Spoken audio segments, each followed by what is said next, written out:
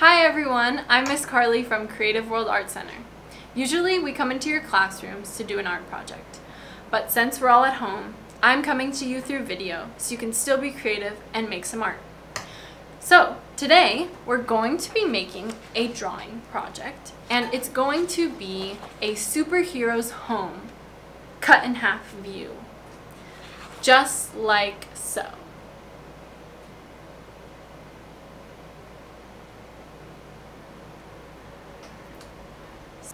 Can you guess who my hero is? I chose to do a mermaid hero, and this mermaid helps save the ocean from different kinds of pollution. So for today's materials, we're going to want a sketch paper, which can just be a regular printer paper, and then some kind of thicker cardstock or mixed media paper for our final drawing. A pencil, an eraser just in case. A ruler will be handy, a color pencil or some color pencils. So first thing we want to do is we want to figure out what kind of home we're making for which superhero. So I made a brainstorm list of who my superhero is going to be and what kind of things I want to include in the house. And this mermaid lives underwater and her power is to clean up pollution in the ocean and protect coral reefs. So in her home, I want to have a laboratory, a library, a kitchen, which is going to be a sushi bar. And on the television, it is a on land view so that she knows what's going on on land. Her bedroom is going to be a kelp forest bedroom. And also, I'm going to have a special room with the plastic Begone machine that she invented. So here's my layout sketch of the home. And as you can see we're trying to design the home as if it's cut in half. So we can see an inside view of everything that's going on in every room. When you're drawing your home and thinking about the shape it can be you might want to think about the environment that it is in. So for my mermaid she's living underwater and I wanted her home to kind of feel like some kind of coral within a coral reef. Now think about drawing the big shapes first. You don't want to get into the details just yet. So I'm going to start by sketching the ground and I'm sketching very lightly. And then I have this big oval shape right here on the bottom. Then I'm going to add in this balcony right here in the middle. I'm keeping my grip a little bit loose on my pencil so that I can move my arm across the page in bigger motions. And that's going to help when we're getting these big shapes on our paper. Now I'm deciding I want this balcony to have a kind of a wave formation to it instead of just being straight across. So you can think about changing things as you're sketching on your bigger paper. And also in this home, I have these chutes. These are going to be water tubes that you can swim through to the next room. So here I have a more finished skeleton of the house where I've added in all of the basic details that I need. Take a look at this pathway here. If you want to show that something is going back in space, you can start making it smaller as it goes back. So my pathway is pretty wide down here. And then as we move back on the pathway, it starts to get more narrow and less wide as it gets to the doorway. So now is our time to draw in all of our details into all the rooms. Let's start with our bottom room. So we're gonna have a lamp there. I'm gonna change the design of the lamp to be a little different than how I made it in my sketch, looking like some kind of coral or anemone. As I'm drawing in my details, I'm keeping them quite simple as well. I'm doing more of the line work and getting the basic form and structure of it without shading anything yet. You can think about making some things more 3D looking where they have different sides that you can see it to them, or it can be very flat like this lamp and this chair. I want it to really feel like an underwater theme. I'm gonna do some a little bit of erasing. Now you haven't seen me erase too much, but sometimes you need it in order to show that something is in front of something else. You need to erase part of one thing. So I want these chairs to be in front of that, the table. All right, and then in the background, we're gonna have the sushi bar. So I'm gonna add another floor line back here so that I can have somewhere for my sushi bar to go. So I'm drawing this behind this table. The table's in the front, and then we're gonna have the sushi bar in the background. Now in here I have a bed, a mermaid's bed, within a kelp forest. Kind of a play on words because we can call it a kelp bed. So I'm going to draw some kelp all around.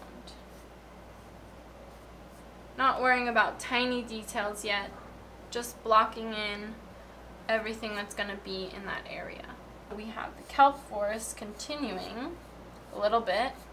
Over here is where my mermaid hero is keeping all of the different mermaid tail outfits that she has. And they're each going to have a different detail on them. Laboratory next. So the laboratory is where our mermaid is keeping a lot of different experiments that she's doing on coral to test how she can help keep certain coral alive. So I'm going to have a bunch of shelves and then maybe one main huge coral. You do have to have lots of ideas in order to fill up your home with a lot of imaginative things that are going to help show who your superhero is and give a little bit of personality to them, even though we don't see them. A bunch of jars on the shelves. Tests going on, maybe some things that look like plants. Let's put a big window right here. Looks a little empty. Now last but not least, we have our plastic Be Gone machine over here, and these I drew are the vents that are sucking in only plastic into the machine. And now I'm just gonna have some fun drawing in the details, making this look a little bit more like a machine. So I know it's gonna need some tubes and some buttons. So this is a very powerful machine. And now I feel pretty good about this. How to do some shading and adding value with a color pencil. Building it up from light to darker values and color. Start by shading in the places that I think are going to be lighter. Be careful as you shade that you're not losing too much of your line work. Now, it's already starting to look like things are getting muddied together and it's hard to tell what is what. But don't worry because we're going to go back over some of our lines and make it a little bit darker. Now when you're working with color pencil, you can't erase. So just be careful as you're moving along to work from light to dark until you're really sure that you're ready to make some of those dark lines. So now I'm going over pretty dark over my lines because I really want things to pop out and you to be able to see all the detail. Sushi bar. I left a, a little bit of white space under the sushi bar to make it look like it's glowing with light while everything else is more shaded around it. We have a lighter shade, the darkest, which is our line, and then you can add in some medium tones. Now, here's where you're doing drawing with one color, but maybe you want to add little pops of color in other places. All right. So there's one room, pretty finished, and I can keep moving on and adding shading into the other rooms of the house. I've gotten a long way on my drawing, added a little bit of color in different spots I wanted to stand out. I'm just going to finish up this last room And I want to show you guys, as you're coloring and shading, you might notice that your hand is getting a little bit dirty with the shading rubbing off on it. So what you can do is you can get a little piece of scratch paper and then just place it where your hand is going to sit and you're going to have to move it as you're drawing and that will help you to keep your paper nice and clean.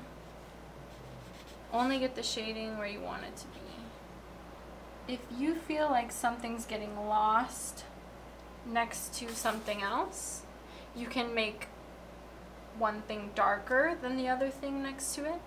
Like right here I made this little corner of this wave area a little bit darker so that it stands out next to the balcony. That way they're not the same tone. The last thing I want to draw in is my bubble shield. The ocean's a rough place. The bubble shield can protect against harsh currents, maybe a big whale bumping into the house. We don't want that to happen. There is my mermaid's superhero at home drawing.